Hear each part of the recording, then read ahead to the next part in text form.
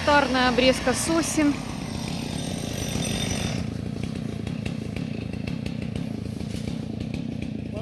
Частный лес. Да, нужно было под Новый год делать.